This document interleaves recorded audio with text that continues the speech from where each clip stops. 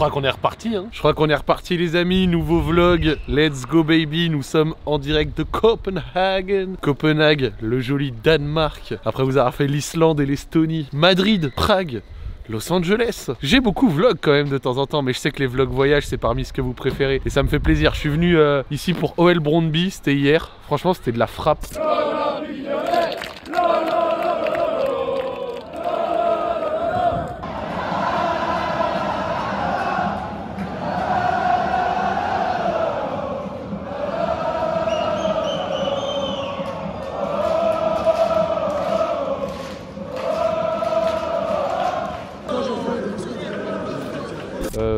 Gagné, il y avait bonne ambiance et tout. J'ai même pu, et ça j'ai eu beaucoup de chance, filmer un but. Vous vous rendez compte?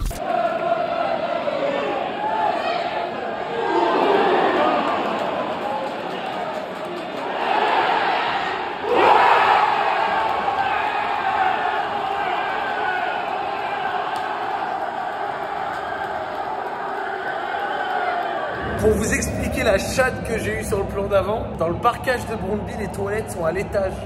Donc je suis monté à l'étage pour pisser. Je ressors, je me dis, oh La qualité est bonne d'ici, on va prendre un plan. Je prends un plan, et ce plan c'est le but. Full chat mon frère Ça c'est le genre de choses qui fait très plaisir. Donc on est à Copenhague. Oh regardez, il y a des gens qui saluent. Coucou Bon bah sympa hein Voilà. It's called uh, Zach. Zach Nani. Zach Nani. On va chercher les abonnés là où ils sont. Hein. Welcome Demande ma chaîne YouTube, je lui donne. hein. Pas sûr qu'ils comprennent grand chose, ceci dit. La good vibe. On est au centre de Copenhague, c'est très très cool. Donc, ouais, il y avait bonne ambiance, but, etc. Voilà, c'est bon, on peut passer à autre chose. Le match a été gagné, on est rentré, c'est cool. Donc, j'ai pas trop filmé à l'intérieur et tout parce que je connais quand t'es en parkage et tout. Bon, c'est pas la première chose pour laquelle tu viens, donc on respecte les codes. Et là, par contre, on est pour. Euh visiter la ville. Je suis avec des amis à moi. Je vais live IRL également dans la journée, histoire de vous montrer tout ça en live. Et puis voilà. Copenhague avec Zach. Let's go.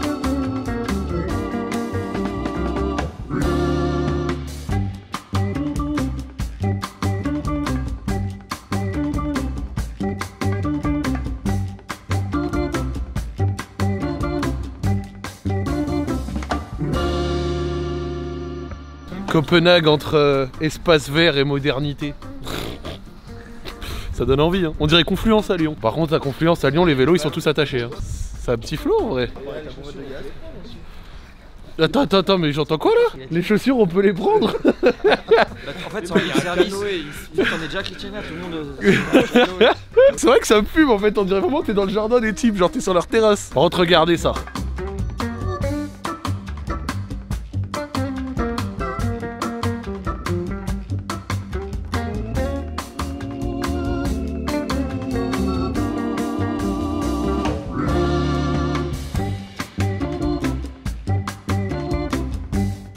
800 par mois, t'as un studio, ouais.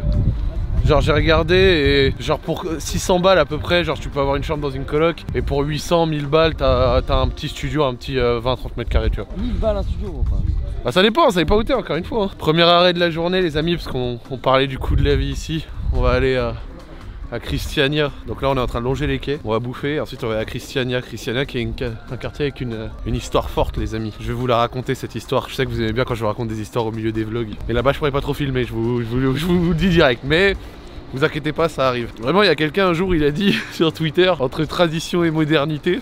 Ça m'a fait bien rire. Mais ici à Copenhague, c'est vraiment entre euh, espace vert et modernité. Et ça, c'est la réalité, mon pote. C'est vraiment. C'est trop mon style. Ah, je sais qu'il y en a qui préfèrent peut-être autre chose. Moi, moi ça me parle ici.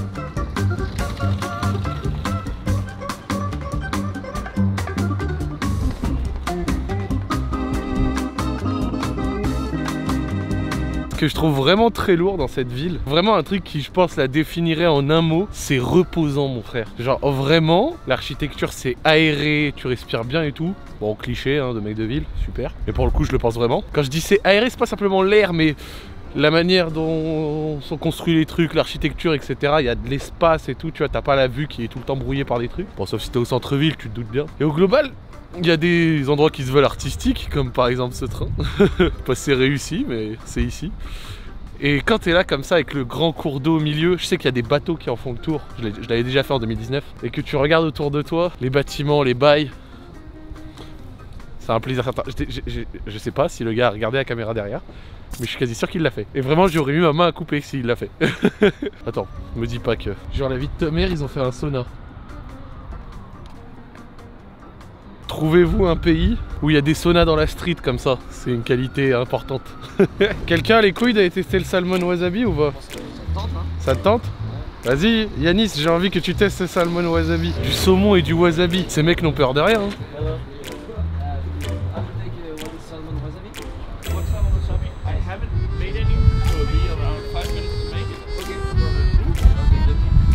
Pour la suite des vlogs, hein, 1 euro égale 7 couronnes danoises. Voilà, si jamais, comme ça, quand vous voyez 55, un truc comme ça, je fais la conversion rapide. On s'approche de, de Christiania, mon gars. Oh, Yanis, par contre, si t'as le cul en feu, on s'arrête pas toutes les deux minutes. Hein.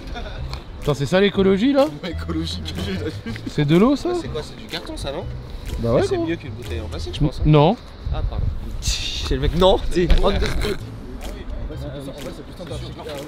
c'est clair. Les gars, il y a vraiment un truc spécial avec cette eau, c'est qu'elle a un goût d'eau. C'est fabuleux. Ceci est une tartine salmon wasabi. Et T'inquiète. la salade là, elle te fait pas peur? Non, c'est pas ça qui me fait peur, c'est pas la salade. C'est le wasabi. Ouais, ouais, ouais, ouais, ouais. Allez, dis-nous ton avis là. Après, si j'ai des larmes pendant que je mange, c'est parce qu'il fait très froid.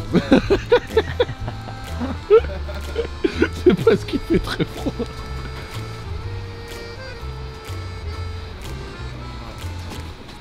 Fin de seigle. Alors, première impression, C'est bon. mais Tu sens le. Le wasabi, il- enfin, pour l'instant, c'est pas fort. il est timide. Ouais, c'est timide, ouais. C'est un wasabi timide. Je te cache pas que ça me va, ça me va très très bien. Oh, je suis déçu de fou. Oh, je fais, eh, je buzz comment sur YouTube si tu, si tu craches pas du feu, genre. Bah ouais, vomis-toi dessus. La miniature, elle va être bonne. Vomis, Yanis. Pardon, en plus, il est en train de bouffer, je dis vomi et tout, je suis horrible. Je suis un gourmand. En vrai, ça va, t'as fait un bon restaurant. c'est du wasabi de saveur, c'est pas du wasabi. Ouais, Vraiment. Mais ça pique pas du tout. C'est la- c'est juste la saveur du wasabi. Non, mais ça pique pas du tout. C'est bon en vrai. Mais remboursé, frère. non, en vrai, c'est bon par contre. C'est bon. Ouais, c'est bon. C'est bon parce qu'on l'achète au Danemark, genre. Genre, c'est pas, ex- c'est pas Non, super bon. évidemment. C'est c'est ok. D'abord, là, on va aller dans un vrai resto. You, you want to say hi? Ouais, c'est bon, c'est bon, c'est bon. Vous êtes français? Vous êtes danois? Vous parlez français? Un peu Bah, ça fait plaisir. Franchement, avec son sac découpé derrière, c'est quelque chose. Toi, toi, ta mère, on va en parler, gros. je suis là, je veux faire mes plans de youtubeur. Et lui, il parle derrière, oh, le sac avec le trou là. On a trouvé un restaurant, sauf qu'on est 6. 6, c'est beaucoup. Donc, on est dans une ambiance table de Noël. C'est Harry Potter ici. Hein.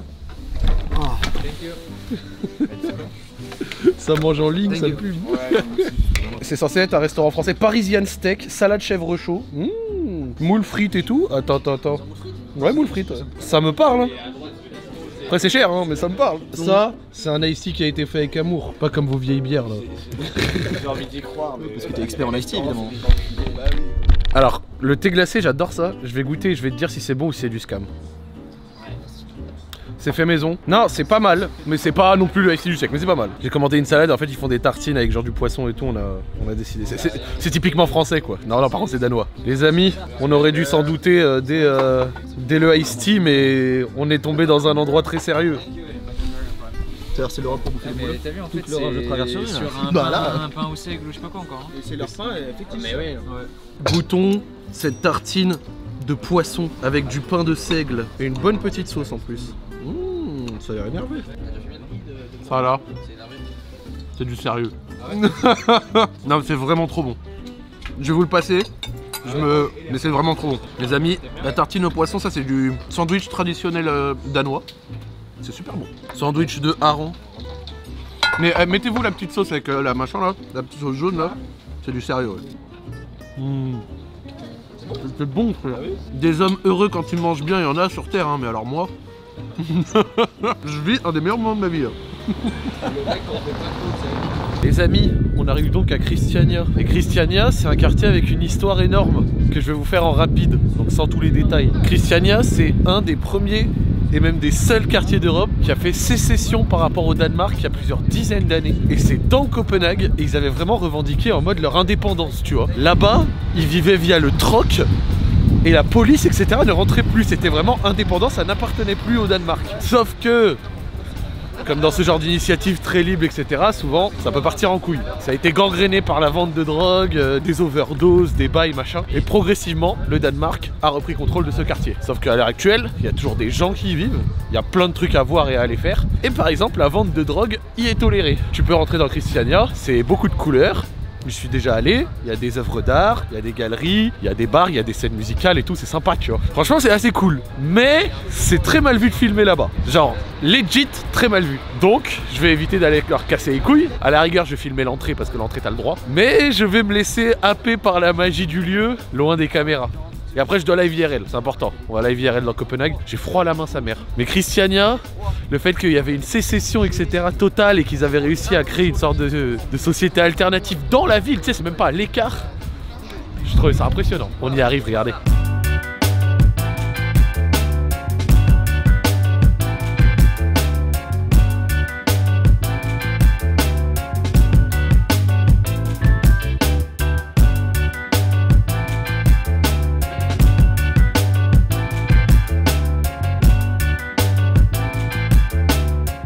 Ressemble un peu à ça. Et ça, c'est encore. euh, c'est que le début, tu vois. Genre, c'est un peu là-bas que c'est mal vu de filmer. Mais il y a plein de trucs euh, de vente artistique, galerie d'art et tout, machin. Il y a une vibe, c'est marrant. Mais le vrai endroit un peu chaud, c'est là-bas. Est-ce que je fais mon touriste ou pas Peut-être envie de le prendre. Hein. Après, je vois une étiquette Made in Honduras. Mais il a petit flow quand même. Hein. Je pense que je vais le prendre. hein. Donc regardez autour, il y a plein de trucs euh, de vente, notamment euh, pour de la bœuf. Je te fais pas de dessin. Mais il y a partout des panneaux Say no to hard drugs, des, des drogues dures. Et tu sens que ça a marqué l'histoire de ce quartier, comme je vous racontais, avec de nombreuses overdoses, de nombreux dealers, etc. qui vendaient du crack, des trucs comme ça. Tu sens que le quartier est imprégné de ça. D'ailleurs, on va s'avancer un peu vers là-bas. Et... Depuis tout à l'heure, je vous dis, il y a un endroit où je pourrais pas filmer, je filme partout. Tu sais, je suis un connard. Je vais le prendre. Ça y est, les amis, j'ai fait le clicos. Se balader dans Christiania avec un pull Christiania. Je suis, je pense, le Yankee du jour. Ils vont me voir, ils vont faire oh, le bouffon de français là. Et vous avez raté la zone derrière moi. Vous la voyez juste là. Où tu n'as pas le droit de filmer. Mais ça peut se comprendre. Il y avait des choses noires. Le sale, le sale.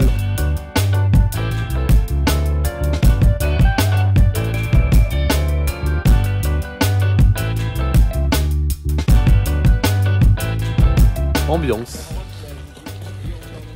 Vous voyez un peu le délire. Cet immense marché, marché d'outils et de matériaux qu'on ne retrouve plus comme le bois. Quoi, t'as pas aimé la, là? C'est stylé par contre. Et ici, il y a des mecs qui ont construit leur propre maison. Alors, je suppose que c'est pour ça qu'ils vendent les matériaux. Mais juste derrière, je vous jure. Oui, oui, bah je parle au mannequin là. Alors, du coup, ouais, mon pote, tu comprends, ici à Christiania, c'est comme ça que ça fonctionne. Il y a des lois, il y a des règles. pour combien tu bouffes ça? C'est un, c'est un cookie. euh, Ouais, non, c'est des oiseaux. Et pour combien tu bouffes ça du coup et, et après tu plonges dans la. Dans la... Franchement, ça trempé dans l'huile là, comme ça. Non, il a pas tort, hein. Free. Comme les Américains, ils frient tout. Tu fais ça, c'est bon. Un peu de cheddar dessus et let's go. Ce qui est bien, c'est qu'on va acheter plein de trucs là. C'est très utile notre tour. C'est des bons menuisiers. Avec euh, des matériaux qui se font de plus en plus rares d'ailleurs. Je suis désolé d'être le plus gros forceur que cette France ait porté. Mais attendez, maintenant qu'on a vu les matériaux, on va voir les maisons. Parce que là, il y a des maisons qui ont été construites. Et franchement, quand j'étais passé devant en 2019, j'étais là. Flow. Le gars s'est quand même construit cette maison à côté. Hein. Ah, mais frère, elle est, elle, elle- elle est même carrément bien. Hein. Eh, on rigole, on rigole. Parce que maintenant, en fait, à Christiania, il reste quelques centaines de résidents, dont ce mec. Et là-bas, là, par contre, il s'est vraiment construit un truc sympa. Avec des matériaux. euh, récupérer, produit, je sais pas. Mais propre, propre, propre. C'est super. hein.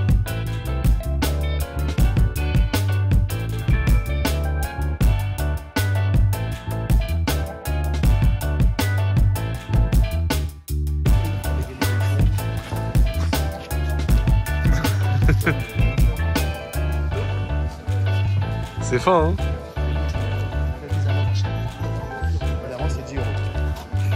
C'est vrai que sa, sa maison, lui, elle est exceptionnelle, lui. Hein. C'est un manoir. C'est la maison. T'as dit quoi? Le gars est trader. Le mec, il est trader, il habite à Christiania, il a pas compris le concept.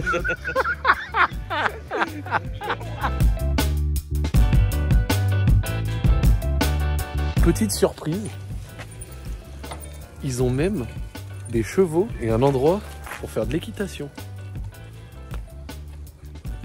Flo. Pour terminer les surprises de Christiania, un terrain de water polo sauvage. Vrai, ça va. Non, elle est propre, wesh, elle est claire. Voici à Copenhague. Très très joli. C'est noir. Eh, quelqu'un peut m'envoyer un flash sur la gueule, juste histoire de. C'est pour la picture. Je suis ton assistant, tu me prends en stage ou Ouais, ouais, vas-y, mets un flash. Oh là là. Ouais Ouais les gars C'est réussi là, non? On, va, on va aller envoyer du flash, voilà mes frères, merci On est au top de Copenhague les gars Putain, mais on va trop bien là, du coup. ça marche bien, là ça, incroyable. là ça fonctionne bien, il n'y a, y a pas de lag, c'est les moyens festival de Cannes. là. Toi qui as fait un mémoire de, Ouais, Il y a de il y a 60 quand même pages. Regardez Le mec, il a besoin de deux assistants lumière. Oh le niveau de galère. Eh eh, les gars vous dites t'as pris une sauce ou quoi mais on a pris une sauce de fou.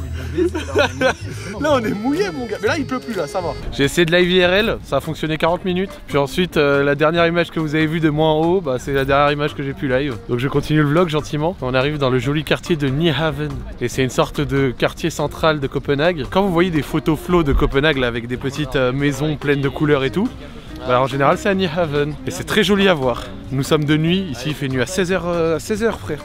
16h, il fait nuit. Donc euh, là, là, il fait nuit noire. Sauf qu'il est 16h30. T'as l'impression qu'il est 19h20 dans le mood. Regardez.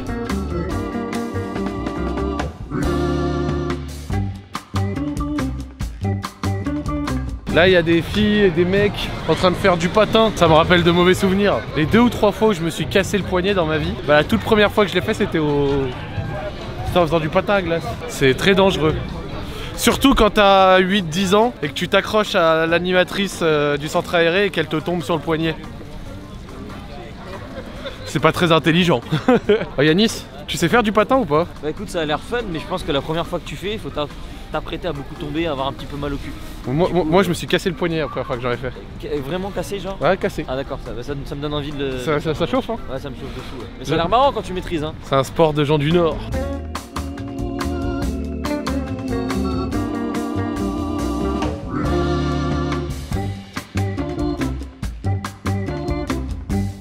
Vous savez que j'ai toujours adoré vous donner un certain nombre de bons plans. Là, je l'ai pas encore fait, mais on y arrive. Et croyez-moi les amis, cette rue de Copenhague, centre, avec les décos et votre meuf, c'est une demande en mariage et rien d'autre. hein.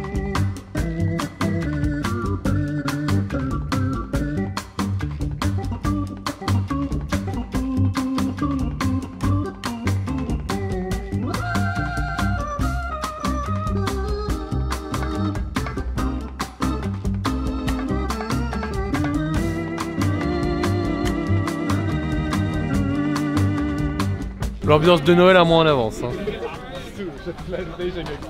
Tout en étant au bord de la mer. C'est charmant.